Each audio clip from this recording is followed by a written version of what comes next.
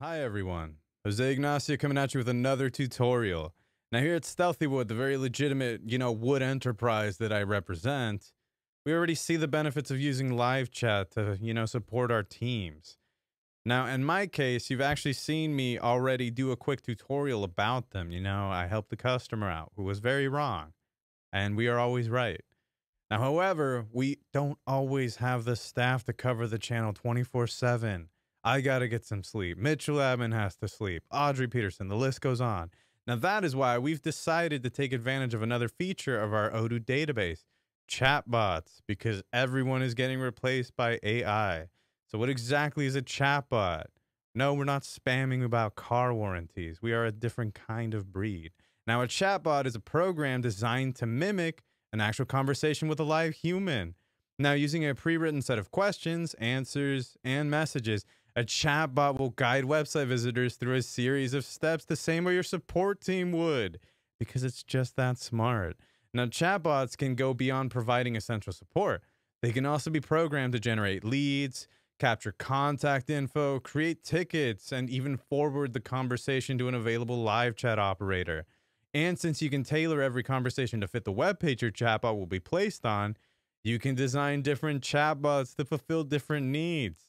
For instance, a job bot to help recruit applicants, an after hours bot to cover customer service when your employees aren't on the clock anymore, and even a survey bot to gauge customers' opinions. And we love customers' opinions. A lot. You know, honestly, it's endless. You can make a bot for anything. You can even make a friend bot in case your customers are lonely. But I'm really pumped up. Let's go see how to do this. Enough chit chat. Let's go into our Stealthywood database to see how we can add a chat bot. All right. The very first thing we want to do is we want to make sure that we have live chat enabled for our help desk team. Now, we should already have it configured for the customer care team since we set it up earlier, but let's just make sure. I've been making mistakes. I'm not perfect.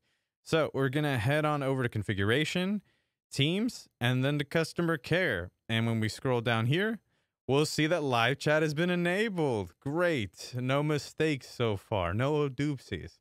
Now, before I can set up the live chat channel, I have to make sure that I have the chatbot built. It's not, you know, going to exist on its own. So I need to head over to the live chat application and click on configuration and chatbots. So we're going to go over there. And once that we're all set up here, we're done. All right, now here we have a list of the current chatbots in the system. Let's see what an existing chatbot looks like so we can have an idea of what our script, you know, should look like. So we're to click on this one. Now we can see that the bot starts the conversation with a general greeting. Here we go. Help is on the way.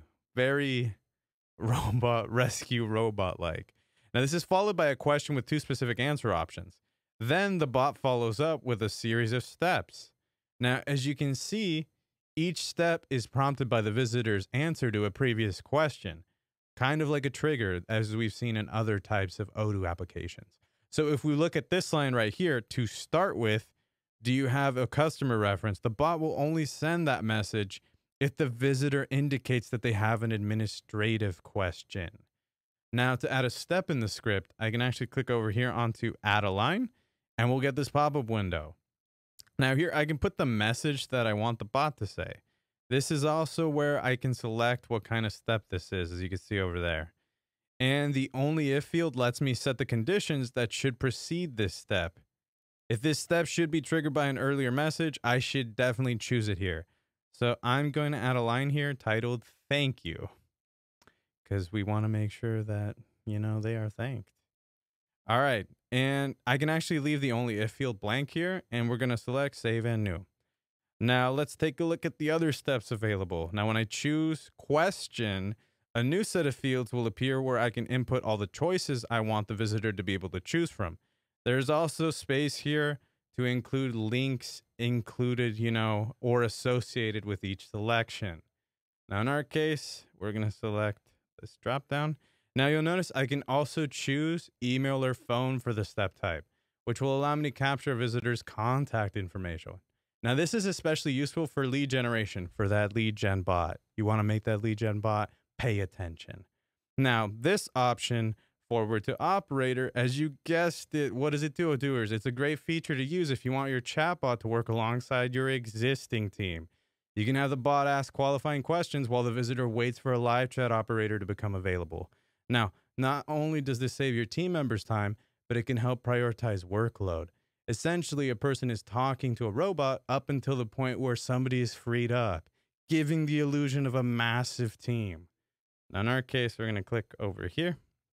Now, the free input options will let visitors type in anything they want as well. Now, this will then be saved in a conversation history. Now, the final option that we have probably the most important one, doers. So pay attention. It is create tickets. Now, this allows the chatbot to funnel the conversation directly into a ticket for your help desk team. Now, once this option is selected, you're prompted to choose a team. In our case, Legendary Customer Care Team.